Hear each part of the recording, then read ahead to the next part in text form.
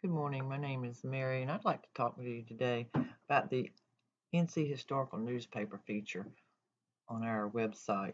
I work, I'm a library assistant here at the Carteret County Library, and I work with adult programming. And one of the things I do is help people do their research in family history. We have a really interesting site that you can access through NC Live. If you just go to our webpage and click on Books and More, you come up here and click on NC Live. I'm going to browse the databases.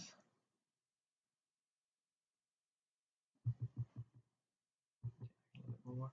Hit on the H's. And there you'll see the Historic North Carolina Digital Newspaper Collection. Now, not every newspaper in the state is in here, but there is a very large collection that covers a very large time frame. There's a lot of things you can find out in here that you may not have known, even about places right around you.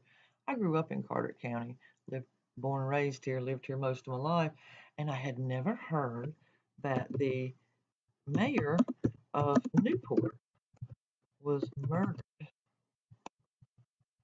on his doorstep. Um, this happened in 1909. So as you see here, I typed in what I wanted to search. Hit the, hit the more info button. We're going to type in 1909. See what I'm talking about here. You can do some very interesting research into your county, and automatically you start coming up with all these hits on this 44 matches. It tells us over here how many things that meet that requirement. And one thing I found really interesting is in this 1909, when we certainly didn't have the technology we have nowadays, look at how far this news story had traveled. We see newspapers from Winston-Salem, Charlotte, Goldsboro, Washington, Concord, Salisbury, Wilmington, Siler City, Asheville, Raleigh, Hillsboro.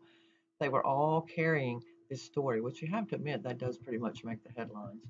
So it's interesting because the more stories you read, the more little details you find that may be slightly different. But this is an example of what you find. Uh, go on here, click on one of it, and you can actually read the story. Tells you the sad facts of what happened.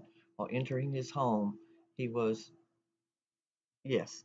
So we want to go back and let's let's try another research here just to show you something. If it happened big and it was in the state, it's most likely got wrote up in the newspaper.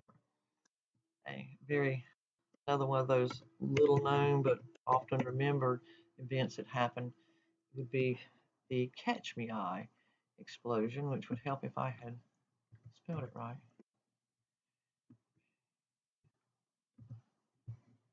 And we know that this happened in 1942. You realize North Carolina is a really big military state, and that munitions has to move somehow. In 1942, a munitions truck, unfortunately, met with a bad end. You see here three things on that already, and it tells us that this was indeed a tragic event from a munitions truck that was struck by another vehicle. And you can find a lot of information on NC Live. Well, let's not all let it be bad news. Let's just look at something just in general. Like I said before, not every newspaper is in there. All of the Carteret County old newspapers are not in there, but there are some indeed. Let's just look up something cheery that it would have made the newspaper. We're not even going to put a year in it. Let's just see. Let's just type in triplets born. Wonder if that would made the newspaper we get 25 matches already. There were some in 1942, in December of 1942, June 1942. Okay, there are a lot of triplets. Born. Maybe I'm still in 1942, but pretty much whatever you type in there, if it happened in the state, uh, newsworthy enough to make the newspaper, you'll find an article on it in here somewhere. Now let's say you um, this is the very set of triplets you were looking for. This is someone in your family and you want to make a copy of this. How do we do this? There's a lot of interesting helpful features up here on the top. So if we go to the print button and then we can print either the entire page or select a portion of the page.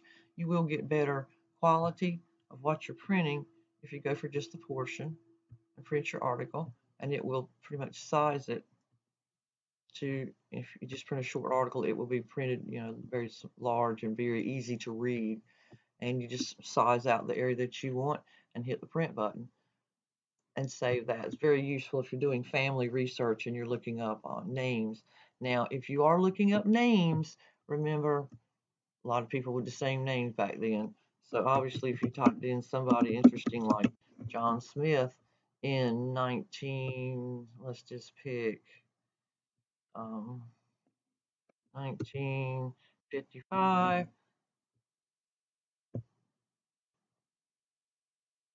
You get 8,851 matches. So as much information, just like anything you're searching, as much information as you can put into the database, the more likely you are to get the correct information out.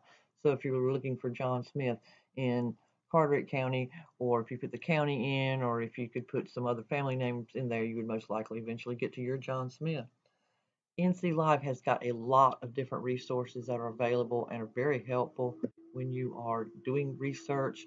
This is something that you could use for school research, not only genealogy, but anytime you're trying to find something about an event that happened in the past.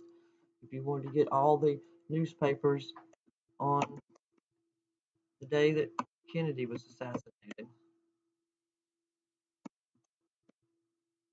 it would help if you could spell assassinated. And it looks it will start. Okay, we only get four matches, but we didn't put in a whole lot more information. But as you can see, there's a lot you can do with this. Finding things, historical events, historical records, you can find obituaries and stuff like that if you had the name and the date. Finding things that you may not have known about, finding things you want to know more about, finding things you wish you didn't know about sometimes. But at any rate, the NC Historical Newspaper Collection is free. You can you can browse through it at home, anywhere that you can access our database. You can use it anywhere, look up some information, find out what you're looking for. If you'd like some more information on this, feel free to come by the library. And we thank you very much for using this NC Live database, this resource that we have for you. We hope you do find it useful in your research. Thank you very much. Have a good day.